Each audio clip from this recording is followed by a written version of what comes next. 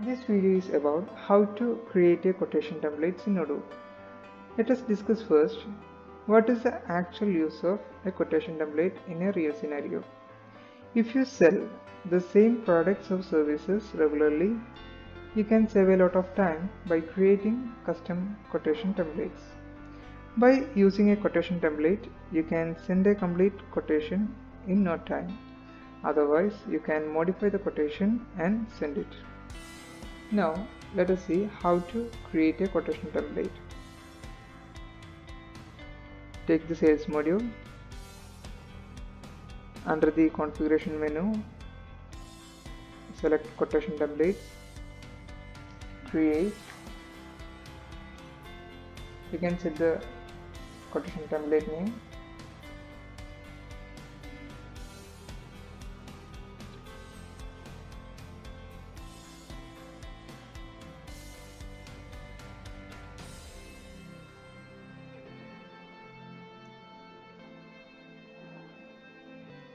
This means the system automatically set the expiry date after 60 days from the created date of quotation and here you can add the products, add sections and add notes.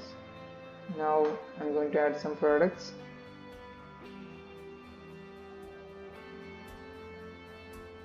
Set the quantity. If you want set discount you can set it here and add another product.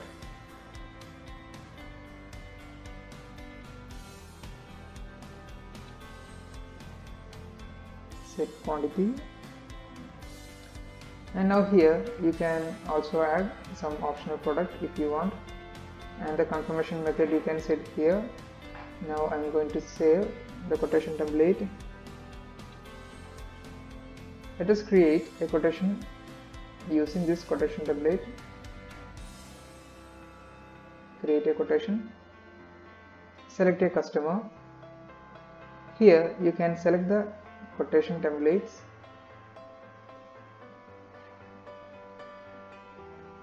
Now you can see here that the validity date automatically computed from the 60 days. And here the products and the corresponding quantities are added here and I'm going to send by mail.